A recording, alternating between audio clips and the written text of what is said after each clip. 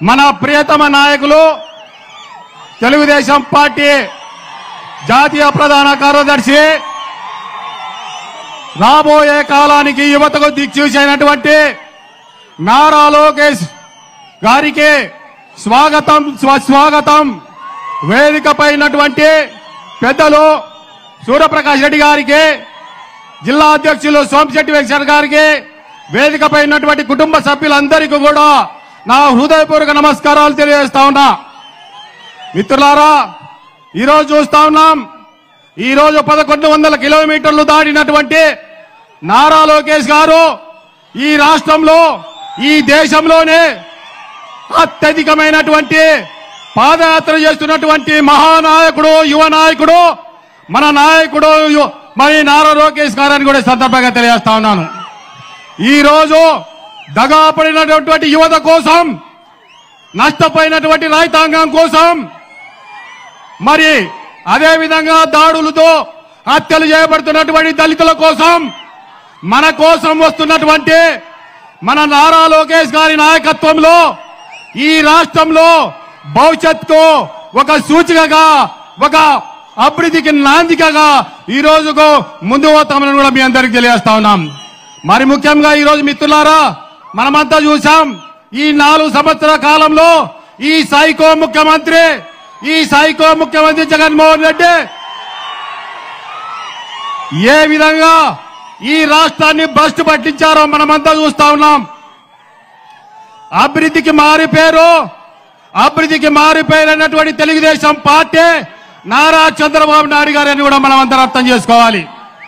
మరి గతంలో మరి నారా లోకేష్ గారు పంచాయతీరాజ్గా ముఖ్యమంత్రిగా ఉన్నప్పుడు ఈ రాష్ట్రంలో కానీ ప్రధానంగా ఈ యొక్క నియోజకవర్గంలో వేల కోట్ల రూపాయలు ఖర్చు పెట్టినటువంటి ఘనత మన నారా లోకేష్ గారికి దక్కుతుందని కూడా ఈ సందర్భంగా తెలియజేస్తా ఉన్నాను. మన తెలుగుదేశం ప్రభుత్వం హయాంలోనే ఈ యొక్క నియోజకవర్గంలో ఎన్నో అభివృద్ధి సంక్షేమ కార్యక్రమాలు కూడా చేయడం జరిగింది. ప్రధానంగా మన హాయంలోనే ఆ రోజు మరి ఎన్నో కార్యక్రమాలు చేస్తూ ఎత్తిపోతల పథకాలు ప్రతి ఒక్క గ్రామంలో సీసీ రోడ్లు మరి పంచాయతీలకు సంబంధించినటువంటి అన్ని కూడా కార్యక్రమాలు పూర్తి చేశాం. కానీ ఈరోజు నాలుగు సంవత్సరాల కాలంలో ఈ యొక్క దుర్మార్గుని పాలనలో ప్రధానంగా ప్రధానంగా దళితులపై ఏ విధంగా దాడులు చేస్తా ఉన్నారో ఒకసారి అర్థం చేసుకోండి. దళితులను ఏ విధంగా హింసిస్తున్నారో ఒకసారి అర్థం చేసుకోండి. దళితులకు సంబంధించినటువంటి ముప్పై ఆరు వేల కోట్ల రూపాయలు దారి మళ్ళించినటువంటి ఈ యొక్క దుర్మార్గ ప్రభుత్వాన్ని అంతమొదించాలని కూడా మీ అందరికీ తెలియజేస్తా ఉన్నాను. ఎందుకంటే ఈ యొక్క నియోజకవర్గం ఎస్సీ సామాజిక నియోజకవర్గం. గతంలో నేను ఎస్సీ కార్పొరేషన్ డైరెక్టర్గా ఉన్నప్పుడు మన అన్నగారి ఆశిస్తులతో డైరెక్టర్గా నాలుగు సంవత్సరాలు పనిచేశాను. ఆ రోజు ఈ యొక్క నియోజకవర్గంలోనే వందల ఆటోలు ఇన్నోవా కార్లు ట్రాక్టర్లు స్వయం ఉపాధి పథకాలు కూడా ఎంతో అభివృద్ధి చేశామని కూడా ఈ సందర్భంగా చేస్తా ఉన్నాం.